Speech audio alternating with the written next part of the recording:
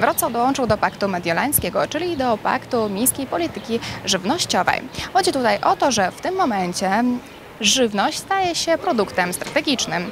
Do tej pory we Wrocławiu mm, były i są mm, realizowane różnego rodzaju projekty, które właśnie mają na celu y, skrócić łańcuchy dostaw, zachęcić m.in. mieszkańców y, do niemarnowania żywności lub też takie, które są nastawione na to, by zachęcić wrocławian do tego, aby mądrze gospodarować odpadami. Jesteśmy sygnatariuszem Paktu Mediolańskiego jako jedno z 225 miast na całym świecie, reprezentując tym samym tą społeczność 400 milionów mieszkańców naszej planety. W tej chwili miasto stara się stworzyć łańcuch zrównoważonego rozwoju w kluczowych obszarach takich jak produkcja, dystrybucja i dostawa żywności, zrównoważona dieta, żywienie oraz kwestie odpadów spożywczych. Staramy się angażować również ten świat naukowy, aby mógł w sposób odpowiedzialny kreować wartość dodaną.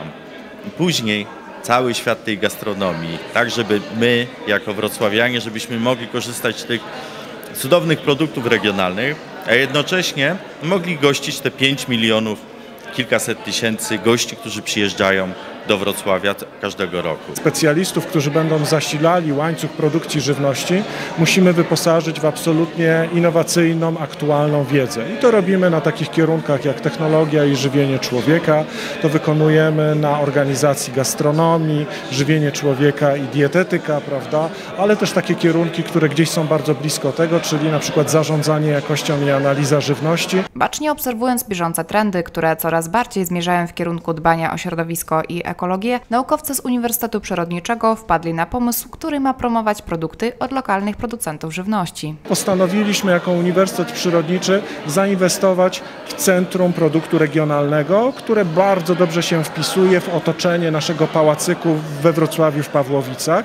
W tam przy parku stajnie zostały przerobione na mini browar, serowarnie, winiarnie i tam właśnie ci ludzie będą zdobywali szlify. Do Paktu Mediolandzkiego wpisują się m.in. działania Miejskiego Przedsiębiorstwa Wodociągów i Kanalizacji we Wrocławiu, które już w tej chwili produkuje biogaz z odpadów ściekowych, a w planach ma, żeby produkować go też z odpadów żywnościowych. Jesteśmy na etapie projektowania e, i wytwarzania takiej instalacji, która powinna już powstać w 2023 roku. Dzięki czemu za jakiś czas staniemy się zeroemisyjną oczyszczalnią. Nasza samowystarczalność, właśnie żywieniowa, energetyczna, wodna jest bezcenna, bo pozwoli nam na świadome podejmowanie racjonalnych decyzji, pozwoli nam na to, żebyśmy my, jako to społeczeństwo obywatelskie, również mogli przeciwstawiać się pewnym działaniom. Echo 24, Nina Jewtuszynko.